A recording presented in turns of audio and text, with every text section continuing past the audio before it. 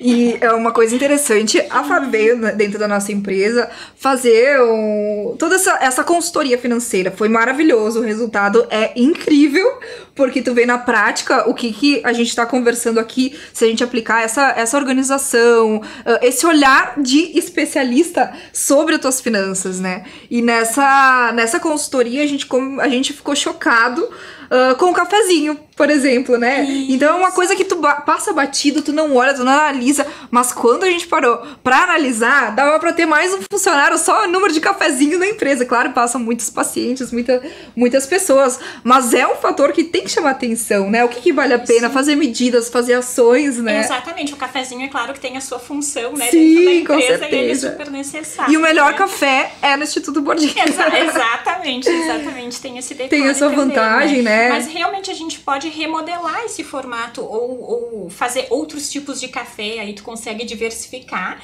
e talvez reduzir um pouquinho o teu custo também, até vocês têm o cafezinho hum. passado, né? Tem três tipos de é, café, é, é muito café. Exato, exatamente, para todos os gostos. E, e também a gente sabendo exatamente ah, quanto que eu gasto de café todos os meses, eu consigo ir lá e negociar com e o negociar. fornecedor. Isso é muito interessante porque tu não precisa baixar a qualidade ou parar de fazer aquilo que você quer fazer mas sim pensar de uma forma estratégica. Uhum. Que quando tu tem esse olhar, uh, parece simples, mas é um, uma coisa aqui, outra lá, outra lá. Tu soma tudo, faz completa diferença na tua vida, né? E isso é ter controle, é governar. Eu acho que a gente tem que ter governo sobre a nossa vida, sobre as nossas ações. Se a gente passar na vida só deixando a coisa acontecer sem esse governo próprio, porque já as finanças é um governo próprio, né? Exato, exatamente. E é como dizia a Demi, né? Aquilo que não se mede não se gerencia. Então, como é que eu vou gerenciar um negócio, gerenciar as finanças da minha empresa ou as minhas finanças pessoais, pessoais se eu não sei o que, que eu tô gerenciando, se eu não sei o quanto